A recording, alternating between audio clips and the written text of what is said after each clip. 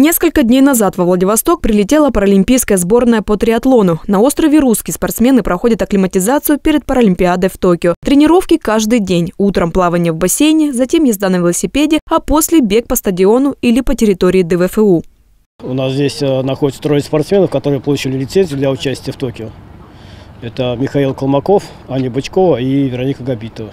То есть они вот 22 числа вылетают уже в Токио и будут уже Э, участвовать там в мероприятиях подготовительных к старту. Там у них будет просмотр трассы и э, открытие Паралимпийских игр.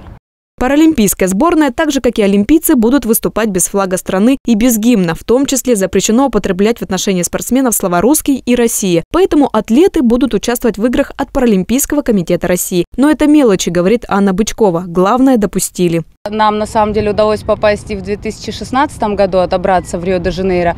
Но, к сожалению, из-за допингового скандала мы не поехали. Хотелось очень э, реализовать свою мечту, которая один раз сорвалась. Триатлон больше других видов спорта привязан к климату в том месте, где выступают атлеты. Все три дисциплины – плавание, велосипедная гонка и кросс – проходят под открытым небом. Поэтому пройти акклиматизацию в Приморье – это удача, говорят атлеты. Ведь здесь климат схож с Токио, и разница во времени минимальная. В течение четырех лет выступая в Японии, соревнования проходили без акклиматизации, поэтому а, я очень рад, что представилась такая возможность э, испытать свои возможности свои силы после акклиматизации а, рядом с Японией.